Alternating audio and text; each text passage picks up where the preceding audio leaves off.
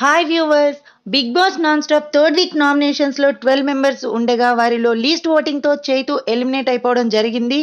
ఇక చైతు ఎలిమినేట్ అయిపోయిన తర్వాత కెప్టెన్సీని అనిల్కి ఇవ్వడంతో అనిల్ నెక్స్ట్ కెప్టెన్ అయ్యాడు. అయినప్పటికీ తనకి ఇమ్యూనిటీ అయితే లేదు కాబట్టి తను కూడా ఈ వారం నామినేషన్స్లో ఉంటాడు. సో టోటల్గా హౌస్లో ఫోర్టీన్ మెంబర్స్ ఉన్నారు. ఈ ఫోర్టీన్ మెంబర్స్ నుంచి ఎవరు నామినేట్ అయ్యారో ఈ వీడియోలో చూసేద్దాం.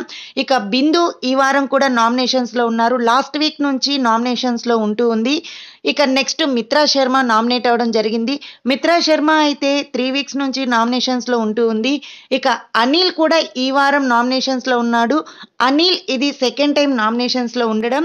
నెక్స్ట్ అరియానా గ్లోరీ అరియానా గ్లోరీ కూడా ఆల్మోస్ట్ నామినేషన్స్లో ఉంటుంది ప్రతి వీక్ కూడా. ఇక సరియు సరియు అయితే లాస్ట్ వీక్ నామినేషన్స్లో లేదు. మళ్ళీ ఈ వీక్ నామినేషన్స్లోకి వచ్చింది. అంటే త్రీ వీక్స్ నుంచి నామినేషన్స్లో ఉంటుంది. ఇక అజయ్ ఈ వీక్ కూడా నామినేట్ అయ్యాడు. లాస్ట్ వీక్ కూడా నామినేషన్స్లో ఉన్నాడు. యాంకర్ శివ కూడా ఆల్మోస్ట్ అన్ని వీక్స్ నామినేట్ అవుతూ వస్తూ ఉన్నాడు. సో ఈ ఫోర్త్ వీక్ నామినేషన్స్లో టోటల్గా సెవెన్ మెంబర్స్ ఉన్నారు. ఈ సెవెన్ మెంబర్స్కి ఓటింగ్ పోల్స్ ట్రెండ్స్ ఎలా ఉన్నాయి అనేది ఇక్కడ కొన్ని అనఫిషియల్ పోల్స్ నుంచి ఇవ్వడం జరిగింది. ఇక్కడ మనం చూసుకుంటే టాప్ వన్ ప్లేస్లో బిందు టాప్ టూలో శివ టాప్ త్రీ ప్లేస్లో హర్యానా ఉంది.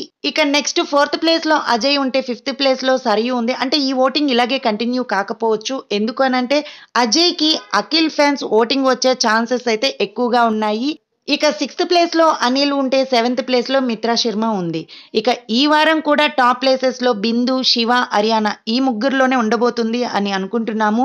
కానీ ఏమైనా జరగవచ్చు ఎందుకంటే అజయ్కి కానీ అఖిల్ ఓటింగ్ కానీ పడితే అజయ్ కూడా టాప్ ప్లేస్కి పోటీ పడతాడు. ఇక ఈ వారం డేంజర్ జోన్లో సరయు అనిల్ మిత్రా శర్మ. ఈ ముగ్గురు ఉన్నారు. సో ఈ వారం టాప్ ప్లేస్లో ఎవరు ఉంటారు? డేంజర్ జోన్లో ఎవరు ఉంటారు? అనేది ఎప్పటికప్పుడు మీకు ఓటింగ్ అప్డేట్స్తో పాటు బిగ్ బాస్ అప్డేట్స్ కూడా ఇస్తూ ఉంటాను. తప్పకుండా మన ఛానల్ని సబ్స్క్రైబ్ చేసుకొని ఫాలో అవ్వండి. అలాగే వీడియో నచ్చినట్లయితే ఒక లైక్ ఇవ్వండి.